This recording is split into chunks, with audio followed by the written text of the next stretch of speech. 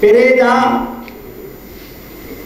අපට හොරෙන් අපේ ජාතියේ ඉරණම තීන්දුව වන දෙයක් රටට පිටින් ජිනීවා නුවරදී අවසන් වුණා.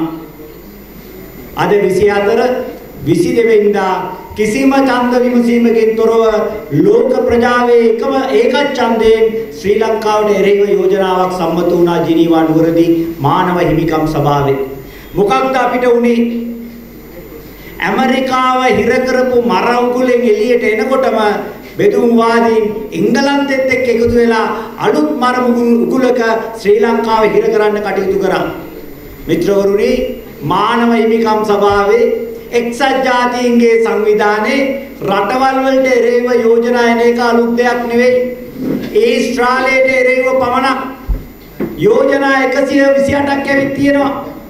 මානව හිමිකම් සභාවේ විතරක් ඊශ්‍රායලයට එරෙහිව යෝජනා 33ක් සම්මත වෙලා තියෙනවා.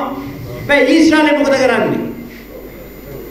උඹලා යුද අපරාධ කරා කිව්වම ඒක සැබෑයි ඒක සැබෑයි කියලා ඔළුව නමලා පිළිගන්නේ නැහැ. Tamange පැත්තෙන් නිදාසට කරුණු දක්වනවා. යෝජනාවට විරුද්ධ වෙනවා. ඒ නිසා මේ යෝජනාව ක්‍රියාත්මක කරන්න ඒ රට බැඳිලා නැහැ. ක්‍රියාත්මක කරාදෝ කියලා කවුරුවත් ප්‍රගතිය අහන්නේ නැහැ. හැබැයි ශ්‍රී ලංකාව කරේ වෙනම දෙයක්. ලෝක ඉතිහාසයේ ප්‍රථම වතාවට තමන්ගේ රටට එරෙහි වෙන යෝජනාවකට ඒ රටම සමානුග්‍රහය දක්වලා මෙන්න මුලේ ලංකාව ලෝක වාර්තාවක් තිබ්බා. අපේ අයියලා දෙන ලෝක වාර්තාවක් තිබ්බොත් කියන්නේ ওই જાතිය වැඩකට තමයි.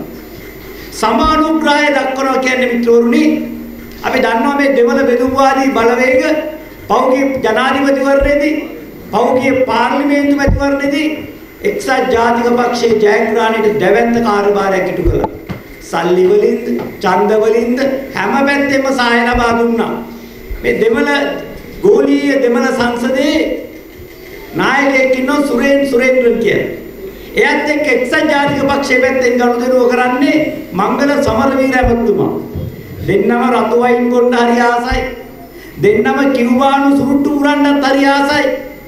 දැන් එංගලන්තේ ගියාම මංගල සමරවීර මහත්තයා මේ සුරේන් සුරේන්ද්‍රන් හම්බෙනවා. දෙන්න පොඩි වයින් අඩියක් ගහලා රෑ කෑමක් කාලා සුරුට්ටු උරුරා කතා කරනවා. ඒ වෙලාවේ සුරේන් සුරේන්ද්‍රන් කියන්නේ නැති උන්න උඹලගේ ජනාධිපතිවරණෙත් අපි දිනවලා දුන්නා. පාර්ලිමේන්තු මැතිවරණෙත් දිනවලා දුන්නා. කලෙරුණ සලකන්නේ නැද්ද මල්ලි කියලා. මංගලයියත් අහන්නේ කොහොමද මොකද්ද වෙන්න ඕනේ කියලා. අපි ගේනවා ඇමරිකාවට කියලා අපි යෝජනාවක් ගේනවා ජිනීවා වල ඒකට පොඩි සමානුග්‍රහය කියලා අස්සනක් ගහගන්න තියෙන නිකන් තියෙන අස්සන ඔන්න ඔය ගහලා දාපන් කියලා. මංගලත් ඉතින් යමක්කම තේරෙන මිනිහෙක් නෙවෙයිනේ. හා කියලා උඩ පැනලා බිම වැටිලා හා කිව්වා.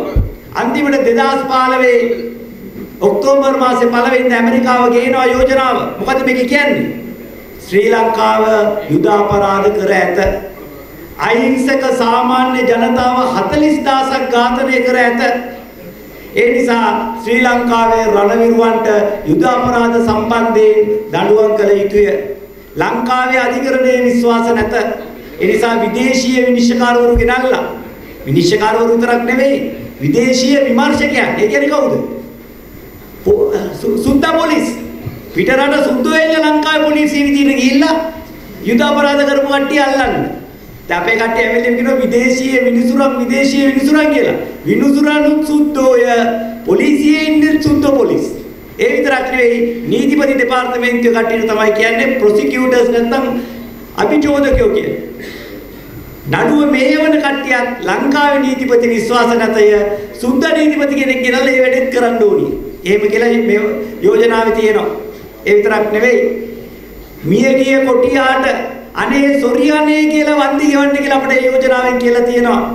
ත්‍රස්තවාදයේ පරාජය කරන්න ගෙනාපු ත්‍රස්තවාදයේ වැළැක්වීමේ පනත අවෝසි කරන්න කියලා මේ යෝජනාවේ කියලා තියෙනවා.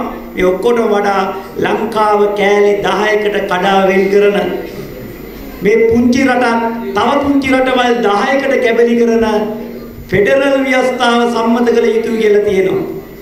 මංගල ඇමතිට මේවැය වගේ වගක් නැහැ. කියෙව්වාට තේරෙන්නේ නැහැ. ගිහිල්ලා සමානුග්‍රහකත්වයේ දැක්කුවා. මිත්‍රවරුනි සාමාන්‍ය යෝජනාවකට පක්ෂව ඡන්දෙ දෙනවා කියන්නේ ඒ යෝජනාව කරන්න එකතු වෙනවා කියන එකයි. තමන්ගේ රටට එරෙහිව කිසිම රටක් ගෙනෙන යෝජනාවකට පක්ෂවත් ඡන්දය දීලා නැහැ. සමානුග්‍රහය දක්වනවා කියන්නේ ඊටත් පියවරක් ඉස්සරහට ගිහිල්ලා. මේ යෝජනාව හරිම ඉහළින් අපි පිළිගන්නවා අනිත් අයත් මේ යෝජනාවට පක්ෂ වෙන්න කියලා ඉල්ලීමක් කිරීමක්. ඡන්දය විමසන්න කලින් තමයි සමානුග්‍රහය දක්වන්නේ. ශ්‍රී ලංකාව සමානුග්‍රහය දක්වපු නිසා මේ යෝජනාවට විරුද්ධ වෙන්න හිටියේ චීනයට විරුද්ධ වෙන්න බැරි වුණා. රුසියාවට විරුද්ධ වෙන්න බැරි වුණා. පාකිස්තානයට විරුද්ධ වෙන්න බැරි වුණා. මැද පෙරදිග ලතින් අප්‍රිකාවේ ලතින් ඇමරිකාවේ අප්‍රිකාවේ සාදිශේ බෞද්ධ රටවල් වලට මේකට විරුද්ධ වෙන්න බැරි වුණා. අඩුම ගණනේ ඉන්දියාවත් මෙවැනි යෝජනාවලට කැමැත්ත පළ කරේ නැහැ. ඉන්දියාව නැගිටලා කතා කරද්දී රටක් ඉලක්ක කරගත්ත යෝජනාවලට අපි විරුද්ධයි කිව්වා. හැබැයි කරන්න දෙයක් නැහැ. ලංකාව සමානුග්‍රහය දක්වනවා නම් ඒ රටවල් වලට විරුද්ධ වෙන්න බෑ. සමස්ත ලෝකයේ ඒකච්ඡන්දේ යෝජනාව සම්මත වුණා. 2015 ඔක්තෝබර් ඒ නිසා තමයි සැරින් සැරේ අපේ රටට එක්සත් ජාතීන්ගේ සංවිධානයෙන් ඇවිල්ලා කෝපෙඩරල් ව්‍යවස්ථාව රණවිරුවන් ඇතුළට දැම්මද? ශවේන්ද්‍රට මොකද කරේ? ජගත් ජයසූරියට මොකද කරේ? අද්මිරාල් කරන්නාවට තාම එළියේ ඉන්නේ අයියනාදී වශයෙන් ප්‍රශ්න කරේ අපි අර යෝජනාවට සමානුග්‍රහය දක්වපු නිසා මේ අතර මිත්‍රවරුනේ ලංකාවේ වාසනාවට අපූර්ව වැඩක් වුණා. ඒ තමයි මේ යෝජනාව ගෙනාපු ඇමරිකාවම මානව හිමිකම් සභාව කියන්නේ දේශපාලන වශයෙන් පක්ෂග්‍රාහී අසූචි වලක් මේකේ läගලා ඉන්න අපිට ලැජ්ජයි කියලා මානව හිමිකම් සභාවෙන් අයින් වෙලා ගියා. උන ලංකාවට මසුරන් අවස්ථාවක් ඇමරිකාව කියන්නේ ඇත්තයි. ඒ අයත් කියනවා නම් මේක පක්ෂග්‍රාහී තැනක් කියලා. මේ යෝජනාවේ අපි තවදුරටත් ඉන්නේ නැහැ. අපිත් යනෝ කියලා යෝජනාවෙන් අයින් වෙන්න තිබ්බා. දැන් බලන්න කොටියට වෙච්ච දේ. ලෝකයේ ලොකුම බලවතා දෙමළ බෙදුම් වාදීන්ව අතහැරලා දාලා මානව හිමිකම් සභාවෙන් ගියා බෙදුම් වාදියා සැලුනද බෙදුම් වාදියා ඇඬුවද මොකද කරේ ඇමරිකාව දාලා ගිය ගමන් එංගලන්තෙට කිව්වා මාර වැඩේ ඔගොල්ලෝ අලුත් යෝජනාවක් ගේන්න නැත්නම් අපි තනි වෙනවා. එංගලන්තෙලවා මේ පාර යෝජනාවක් ගෙනාවා. අපිට වඩා බොහොම ඉස්සරහින් බෙදුම් වාදියයි. ඒ ලංකාවට තිබ්බා 2015 කරපු මෝඩකම යලි නොකර ඉන්න. ඒ නිසා අපි ජනාධිපතිතුමා හම්බුණා ඒකාබද්ධ විපක්ෂ නායකයෝ. ගිහිල්ලා පිළිලිමක් කරලා ජනාධිපතිතුමනි 2015 නොදන්න කමට මහරෑ වැටුණු වලට මෙන්න બોලේ මහදවාලේ පනින්න හදනවා මෙන්න මේක නතර කරලා දෙන්න කියලා. ජනාධිපතිතුමා මොකද අපිට කිව්ව කතාව? ඒක ඇහුවන් පස්සේ හීන්දාඩි දැම්මා. ජනාධිපතිතුමා කියනවා සමානුග්‍රහය දක්වන එක දැන් නතර කරන්න බෑ. මොකද වෙලා තියෙන්නේ?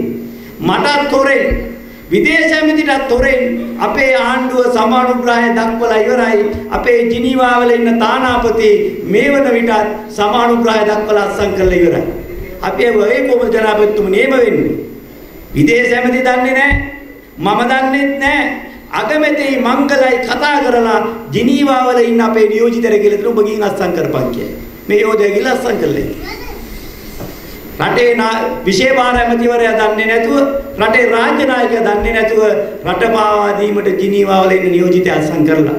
අද අපි තවත් වසර දෙකකට ජාත්‍යන්තර ප්‍රජාවේ අධීක්ෂණයට ලක් වෙලා තවත් මරවූලකට අහු වෙලා. හැබැයි මංගල සමරවීර වගේ නෙවෙයි රවි කරුණානායක වගේ නෙවෙයි තිලක් මානපුර ඇමතිතුමාට කොන්ද පණ තිබ්බා. ජිනීවා වල ලෝක බලවතුන් ඉදිරියේ කියන්න විදේශීය මිනිසුරන් අපේ රටට ගේන්න දෙන්න බෑ කියලා. එතුමා ඒ සිංහනාදේ කරා. නමුත් වැඩක් නෑ. එතුමා යන්න කලින් ගෝලියෝ ගිහිල්ලා අස්සන ගහලා ඉවරයි. ඒ නිසා මිත්‍රවරුනි අද අපි මාරපන ඇමතුමාගේ කතාව ඇහිලා දෙමළ බෙදුම් වාදීන් කුපිත වුණා. තමුනාසල රූපවාහිනිය දකින්න ඇති. සිවාජි ලිංග මොකද කිව්වේ? මේ යෝජනා ක්‍රියාත්මක කරන්නේ නැත්නම් විදේශීය මිනිසුරන් ගේන්නේ නැත්තම් අපි ලංකාව තුනට හතරට කඩනවා කියලා කැඩිච්ච සිංහලෙන් කිව්වා. අපේ ආණ්ඩු ක්‍රම ව්‍යවස්ථාවේ 157 ආවගන්තයේ යටතේ ශ්‍රී ලංකාව තුරු කෑලි කඩන්න කවුරු හරි කතා කරනවා නම් දඬුවම් ලැබිය කි වරදක්. හරිනම් මේ රටේ කොන්ද පණ තියෙන ආණ්ඩුවක් ඉන්නවනම් ගුවන් යානෙන් ලංකාවට එනකොටම සිවාජලිංග මත්තඩංගුඩ ගන්න ඕනේ. නීතිපතිවරයාට කොන්දක් තියෙනවා නම් ගිහිල්ලා ඌට එරෙහිව නඩු දාලා ඌට දේශපාලනය කරන එක තහනම් කරන්න පුළුවන්. සියලුම දේපල රාජසන්තක කරන්න පුළුවන්. නීතිය තියෙනවා. නීති ක්‍රියාත්මක කරන්න බෑ සිවාජි ලිංගම් දැක්කම අපේ ලොක්කෝ ගෑනවා. පෙරේද පාර්ලිමේන්තු ගිය සිකුරාදා මමත් පාර්ලිමේන්තුවේ ඉන්න අතරේ එම්.ඒ. සුමන්දිරන් මන්ත්‍රීතුමා රටේ සැබෑ අගමැතිතුමා නමට ඉන්නවා රනිල් රට කරවන සුමන්දිර මොකද කියන්නේ විදේශීය විනිසුරුවරුන් ගේන්නේ නැත්තම් අන්තර්ජාතික යුද අපරාධ විනිශ්චය සභාවක් හදලා ලංකාවට දඬුවම් කරවනු. අපේ රටේ මහජන මුදලින් නඩත්තු වෙන පාර්ලිමේන්තු මන්ත්‍රී සුමන්දිරන් පාර්ලිමේන්තුව ඇතුලේ ඉඳලා කිසිම බයක් එකක් නැතුව කියනවා ලංකාවට දඬුවම් කරනවා කියලා ජාත්‍යන්තරේ ලවා. උගේ අපොච්චි වෙන්නේ නැති ජාත්‍යන්තරේ කියන්නේ. මිත්‍රවරුනි රාජ් දේශද්‍රෝහීත්වයට ಜಾති ද්‍රෝහීත්වයට සුමන්දිරන්ට හරිනම් නඩු පැවරිය යුතුයි. සුමන්දිරන් නීතියට බය නැහැ. ශිවාජි ලිංගම් නීතියට බය නැහැ. රට කෑලි කෑලි වලට කඩනවා කියලා ප්‍රසිද්ධියේ කිව්වා. කොටිය නැගිටවන්න ඕනි කිව්ව විජේ කලාට මුකුත් උනේ නෑ වගේම අපිට මුකුත් වෙන්නේ නෑ කියලා සුමන්දිරන්ලා ශිවාජි ලිංගම්ලා හොඳටම දන්න නිසා තමයි බය නැතුව කෑ ගන්නේ. ඒ නිසා තමයි මිතුරුනි අද අපි අසරණයි. අද අපේ රට යටත් විජිතයක් සුද්දා මේ පාරේ යන්නේ නැති වුණාට සුද්දෙක් ආණ්ඩුකාරයෙක් විදිහට හිටියේ නැති වුණාට අපි අද බටහිර යටත් විජිතයක් බටහිර ඉත්තන් ගැත්තන් විසින් පාලනය කරන රටක් ඒ නිසා තමයි මේ රටේ ජනතාව අද ಜಾති ભેද පැත්තක තියලා ආගම් ભેද පැත්තක තියලා පක්ෂ ભેද පැත්තක තියලා ඒක හඳින් ගෝඨා අපිට ඕනෑ කියලා කියන්නේ මිත්‍රවරුනි අද මේ රටට කොන්න පණ ඇති නායකයෙක් ඕනෑ කියන එක පක්ෂ ભેදයෙන් තොරව රටේ ජනතාව පිළි අරන් ඉවරයි. අපි දන්න එක්සත් ජාතික පක්ෂයේ මේ මහා බැංකුව වංචාව කරාට පස්සේ දීලා අලියට කතරේ ගහපු අය මේ රට විතරම් පාවා දීලා තියෙද්දි රණවිරුව හිරේ දාද්දි අලියට කතරේ ගාපු අය අද අපිට කියනවා අපි හැමදාමත් කොළ කැපුවත් කොළ පුළුවන් නම් ගෝඨ අරන් එන්න අපි ලෑස්ති ගෝඨ මේ රටේ ජනාධිපති කරන්න කියලා. අද එක්සත් ජාතික පක්ෂයේ රනිල් වික්‍රමසිංහ මැතිතුමාගේ නැන්දලා මාමල කතා කරන්නේ ගෝඨට රට බාර දීලා රට ගොඩ දාලා අපිත් ගොඩ යමු කියන කාරණේ කියන එක මිත්‍රෝනි අපි තම ආඩම්බර සීමක් කරන්න ඕනේ. අද ගෝඨ රැල්ලට පක්ෂ ભેදයක් නැහැ. ගෝඨ රැල්ලට ಜಾති ભેදයක් නැහැ. ගෝඨ රැල්ලට ආගම් ભેදයක් නැහැ. රටට ආදරය කරන සෑම මිනිසාගේම ප්‍රාර්ථනාව ගෝඨාභය රාජපක්ෂ කියන එක අද අපිට බය නැතුව කියන්න පුළුවන්. ඇයි අපිට මේ වෙලා තියෙන්නේ? මිත්‍රවරුනි අද අපේ ජනතාවට සීනයක් තියෙනවා. 1948 ශ්‍රී ලංකාව නිදහස ලබද්දී අපි ආසියාවේ දෙවෙනියට පොහොසත් රට. පොහොසත්ම රට ජපානයේ ඊළඟට ලංකාව. හැමදාම අනිත් රටවල් වල සීනේ උනේ ලංකාව වගේ රටක් වෙන්නේ. 1965 දී සිංගප්පූරුව කියන පාළු පුංචි දූපත මැලේසියාවෙන් අයින් කරලා වෙනම රටක් කෙරෙව්වා. බලහත්කාරයෙන් එළියට ඇදලා දැම්මා. මැලේසියාවේ හැම ප්‍රාන්තෙම බෞද්ධරේ මැලේ සිංගප්පූරුවේ විතරක් බෞද්ධරේ චීන. ඒ නිසා මේ මුඩුබිම උඹලා නැති බංගස්ථාන වෙල්ලා කියලා වෙන රටක් බවට පත් කරා. සිංගප්පූරුවේ ජනතාව මහා බයකින් ඉන්නවා. මාළු වාඩි ඉංග්‍රීසින්ගේ හමුදා කඳවුරුක විතරයි සිංගප්පූරුවේ තියෙන්නේ. ඒ මුඩුබිමේ පළතුරක් කෙලවලුවක් නෙවෙයි මිත්‍රවරුනි තනකොළ ගහක් හැදෙන්නේ නැති මුඩුබිමක්. සිංගප්පෙදා සිංගප්පූරු වෙනම රටක් වෙලා සිංගප්පූරුවේ අගමැති ලී කුවන් යූ 1965 දී මහා වැස්සක් පද ජාතිය අමතනවා. අපට තාම මතකයි ඡායාරූපේ. තමන් මතෙන් කුඩේ තියාගෙන ජාතිය අමතනවා. මොකක්ද ලී කුවන් යූගේ ජාතියෙන් කරපු ඉල්ලීම? මොකක්ද ලී කුවන් යූ ජාතියට දුන්න ප්‍රතිඥාව? මට දශක දෙකක් දෙන්න මම සිංගප්පූරුව ලංකාවක් බවට පත් කරනවා. සිංගප්පූරුවේ සීනය ලංකාව වගේ වෙන්න. අගමැතිතුමා ඉල්ලනවා වසර දශක දෙකක් කියන්නේ වසර 20ක්. 20ක් නෙවෙයි වසර 12ක් යද්දී ලංකාවට අලුත් අගමැති කෙනෙක් එනවා. ජේ.ආර්. ජයවර්ධන මැතිතුමා. එතුමා දලදා මාලිගාවේ පත්තිරිපි උඩ නැගලා ජාතිය අමතනවා දා ලී කුවන් යූ ජාතිය මුතුවා වගේම. මොකද්ද ජනපති ජේ.ආර්. ජයවර්ධනගේ ප්‍රතිඥාව? මගේ සීනය ලංකාව සිංගප්පූරුවක් කිරීමයි. අවුරුදු 12ක් යද්දී අපිට ගව් ගානක් පස්සේ හිටිය සිංගප්පූරුව අපිව පවු කරලා ගව් ගානක් ඉස්සරහට ගිහිල්ලා මෙන්න બોලේ ලංකාව වගේ වෙන්න හදපු සිංගප්පූරුව අපිව පවු කරලා ඉස්සරහට ගිහිල්ලා දැන් ලංකාව කියනවා අපි සිංගප්පූරුවක් වෙනවා කියන. මිත්‍රෝරේ තමුනාසල දන්න කොළඹ නගරේ පැල්පත් තියෙනවා. මම කාලයක් දෙමඩ කොට ජීවත් වුණා. පැල්පත් වලට මොකද්ද කියන්නේ? කොරියාව කියලා කියන්නේ. ඇයි කොරියාව කියන්නේ? 60 දශකයේ කොරියාවේ අගනුවර සෝල් වල තියෙන පැල්පත් විතරයි. පැල්පත් වලින් පිරුණු රටක්. හැබැයි අද කොරියන් කාර්යය දන්නවනම් ලංකාවේ පැල්පත් වලට කොරියාව කියනවා කියලා අපිට අපාසෙට නඩු දානවා. මම කොරියාවේ සෝල් නුවරට ගියා. ජපානයේ ටෝකියෝ තරම දියුණු නගරයක්. ලන්ඩන් පැරිස් පරදවන නවීන තාක්ෂණයේ පිරිපුන් ලස්සන නගරයක්. පැල්පත් පමණක් තිබුණු කොරියාව අද අපිව පව කරලා ගව් ගානක් ගිහිල්ලා. අපි ඊටාම වේගෙන් යනවා. අපි යන්නේ අඩියෙන් අඩිය ආපස්සට. හැමදාම රට පස්සට යනවා. අපේ රටේ ජනතාවට සීනයක් තියෙනවා. මගේ රට කවදද දියුණු රටක් වෙන්නේ? දියුණු රටක් කරගන්න බැරි නිසා රට හදන්න හදලා වැඩක් නැහැ. අඩු ගානේ අපිවත් හැදෙනවා කියලා සමහරු බෝඩ්ඩුවේ නැගලා ඉතාලියට යනවා.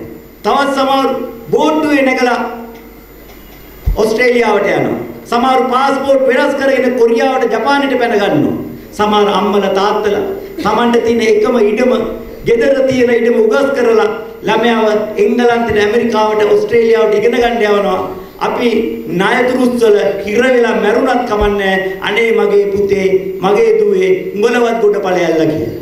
හැබැයි එහෙම අපේක්ෂා බංගත්තරපත්තුණු જાතියට දැන් අලුත් බලාපොරොත්තුවක් ඇති වෙලා තියෙනවා. ගැලුම්කාරය ඇවිල්ලා කියන පණිවිඩය කන් දෙකේ දෝංකාර දෙන්න පටන් ගන්න තියෙනවා. ඒ නිසා තමයි ಜಾති පක්ෂ ආගම් ભેද පැත්තක තියලා හැමතැනින්ම ගෝටා ගෝටා ගෝටා කියන අනේ ඉන්නේ. ඒ නිසා මිතුරුනි මේ අපිට එන අන්තිම බස් එක මේ බස් එකේ නැග්ගේ නැත්නම් අපිට යන්න වෙන්නේ පයින්. අපිට කවදාකවත් අපේ ගමන යන්න බැරි වෙනවා. ඒ නිසා මේ මව්බිම නිදාස් කරගන්න ඕනි කියලා හිතනවා නම් අපේ දරුවන්ට රටක් ඉදිරි කරලා මැරෙන්න ඕනි කියලා හිතනවා නම් ජීවිතයේ සැදෑ කාලේ නිස්කලංකව සුන්දර රටක ජීවත් වෙන්න ඕනි කියලා හිතනවා නම් ඔබට මව්බිමේ නිදාස් අරගලයට එකතු වෙන්න වෙනවා. අපි මේ මව්බිම ජලයේ යුද බිමට කැලවර මොහොතක් එදා අපේ තරුණයෝ උතුරට ගිහිල්ලා සටන් කරද්දි අපිට ඒ රණ බිමට යන්න බැරි වුණා. අපිට දැන් රණ බිමට යන්න අවස්ථාවක් ලැබෙත් තියෙනවා. ඒ හරියටම තවත් මාස 6යි දින 6කින් එළඹෙන ජනාධිපතිවරණේ මෙදා අපේ රණබිම ජනාධිපතිවරණ සටන් බිමයි. අපි තුවක්කු අරන් නෙවෙයි එතනට යන්නේ. ආයුධ වලින් සන්නද්ධ වෙලා නෙවෙයි එතනට යන්නේ. අපි දැනුමින් සන්නද්ධ වෙලා යන්නේ. මොකද්ද මේ රටවනසන කුමන්ත්‍රණය කියන කාරණේ ගැන දැනුමින් සන්නද්ධ වෙලා අපි එතනට යන්නේ. අපි මව්බිම වෙනුවෙන් එක්සිත්ව එක්සත්ව මේ අරගලේ කරලා රට පාලනය කරන රට වනසන වැඩබැරි හොරුපිරි දූෂිත පරගති මේ ආණ්ඩුව ගෙදර යවන ජාතියේ නිදහස් අරගලේ නෝ ජනාධිපතිවරණයේ 2009 කියන ඒ නිදහස් අරගලේ නැමැති මහා පින්කමට අපෙත් එක්ක එකතු වෙන්න කියලා තමුන්නාසල සීළු දිනාටම ආරාධනා කරමින් මම නියැල වෙනවා. සීළු දිනාටම සෙරුවන් සරණයි.